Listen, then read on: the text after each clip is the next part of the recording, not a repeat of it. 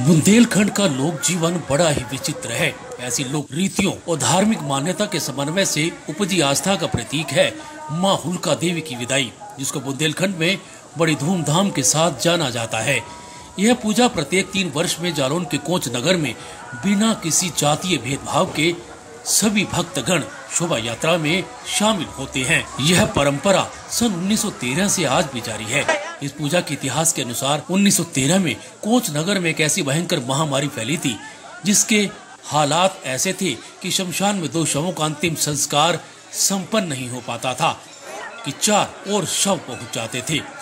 इस महामारी से जनमानस इतना भयभीत हो गया था कि वह नगर छोड़कर अपने रिश्तेदारों व अन्य जगह शरण लेने को मजबूर हो गए थे। तभी एक कन्या ने माँ हुलका देवी का रूप लेकर एक भक्त को दर्शन दिए और कहा कि महामारी को दूर करने के लिए हमारी विदाई करें तो सभी को इस महामारी से निजात मिल जाएगी। तभी से ये परंपरा हर तीसरे वर्ष संपन्न की जाती है। हाँ ये हमारे यहाँ कौज नगर में तीन साल में पूजा निकलती है माता हुलका देवी की, जो महामारी की बचने के लिए निकाली गई थी।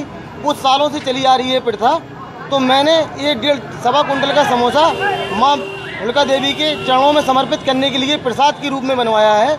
इसको मैं पहले भोग लगवाऊँगा माँ को, फिर इसके बाद इसको मैं प्रसाद वितरण करूँगा।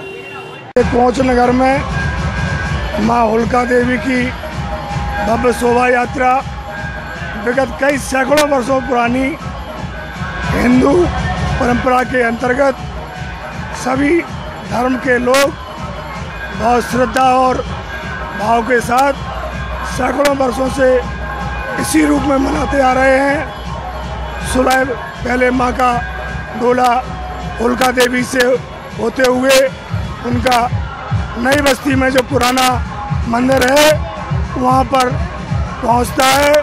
उसके बाद यहाँ की परंपरा के अनुसार महंत जी के यहाँ से उनकी डलिया इत्यादि जो विदाई में सामग्री आती है, उन्हीं के यहाँ से आने के बाद विधिवत लाला हरदौल मंदिर से, गोखले नगर कोच से ये अब माँ की विदाई की यात्रा प्रारंभ होती है, जो इस हिंदू परंपरा के अनुसार विगत वर्षों से ये बहुत भव्य रूप में मनाई जाती है, जिसका प्रमाण ये लाखों लोग इस यात्रा में शामिल हैं, जिसका प्रमाण स्वयं पब्लिक दे रही है।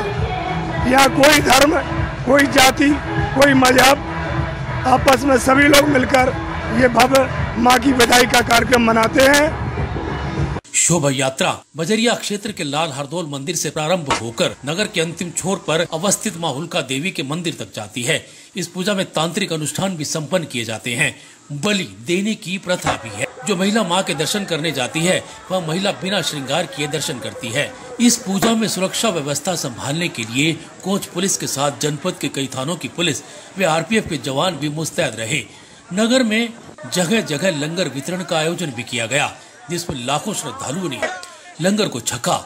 इस लंगर में एक अनूठा प्रसाद देखने को मिला, शायद किसी को देखने को नहीं मिला होगा। बुंदेलखंड के इतिहास में पहली बार विशाल डेढ़ क्विंटल का एक मीठा समोसा बाहर से बुलाए गए कारीगरों द्वारा तैयार किया गया। डेढ़ क्विंटल का समोसा प्रसाद भक्तों को बांटने के लिए बनाया गया था। इस समोसा को देखने के लिए भी अपार भीड़ उमड़ती नज़र आई।